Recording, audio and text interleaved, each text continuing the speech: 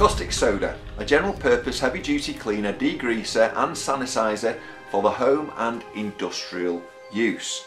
Apparently it's really good also for dissolving aluminium. I've never used it before.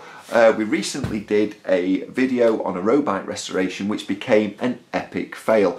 Not only was the handlebar stem seized in the forks which we managed to actually cut off and release by knocking through but the seat post had actually ripped off in the vise itself. We used an hacksaw blade to actually get down into the seat post to try and collapse it and actually saw through the seat post itself. That was unsuccessful. So then we started heating the frame up and actually cooling it down rapidly to create a reaction between the two metals. That was unsuccessful.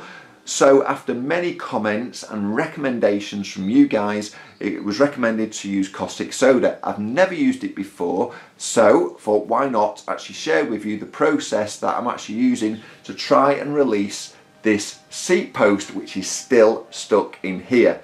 Um, so I've got a jug here ready and now apparently what is really important is to add the caustic soda to the water and not the water to the caustic soda. So that's the first thing to do. We've also got some protection here. We've got a protective mask. We are going to be using it outside but please make sure wherever you're using it it's well ventilated because the fumes are quite toxic. So we've got a mask We've also got some gloves to protect our hands and I've also got an old long sleeve top to protect my arms. Um, I've also got some safety goggles as well. So what we're going to be doing, we're going to be taping the actual frame up itself, probably this bottom bracket, to stop any of the actual mixture flowing out of the frame itself. So let's get outside. I'm going to be sharing with you the actual mixtures that we're going to use in the percentages and uh, the process and also the time itself. Let's get outside and get on with this. Okay, so we've got the caustic soda and a jug containing the water. Now remember to add the caustic soda to the water, not the other way around, and we're going with a 70-30% mix. So we've got 700 mils of water and we're going to bring the caustic soda up to one litre. Now straight away, as soon as this starts going into the water, you're actually going to feel it getting warm. Um, what I also do is give it a good stir, just really to make sure that all the solution is really mixed well and it's not sat at the bottom.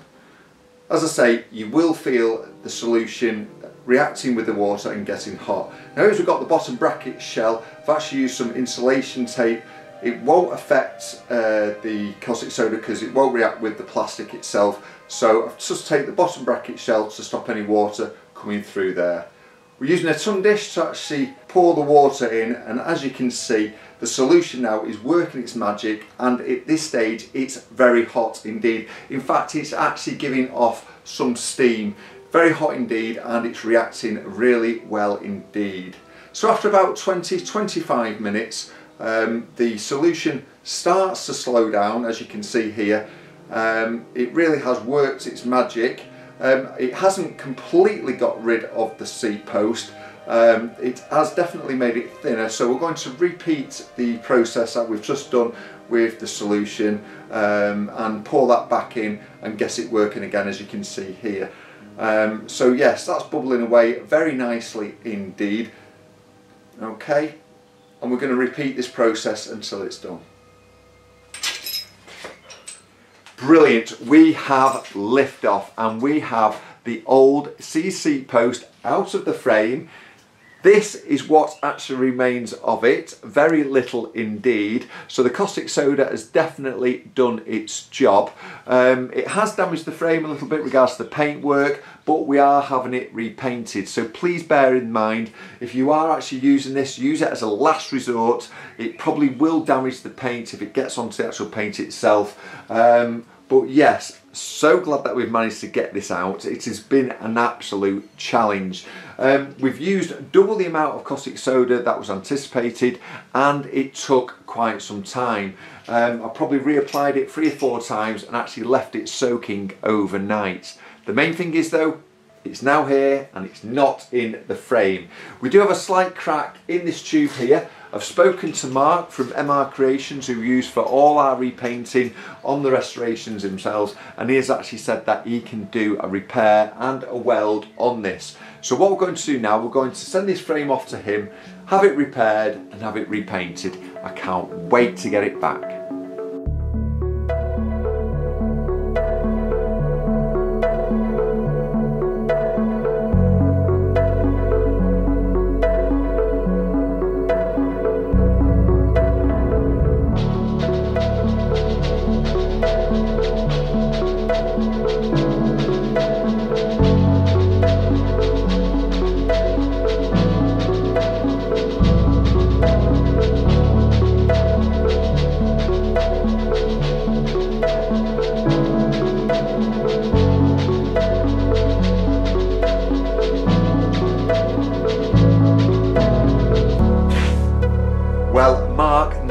Ceases to amaze me, and on this occasion, he really has blown me away.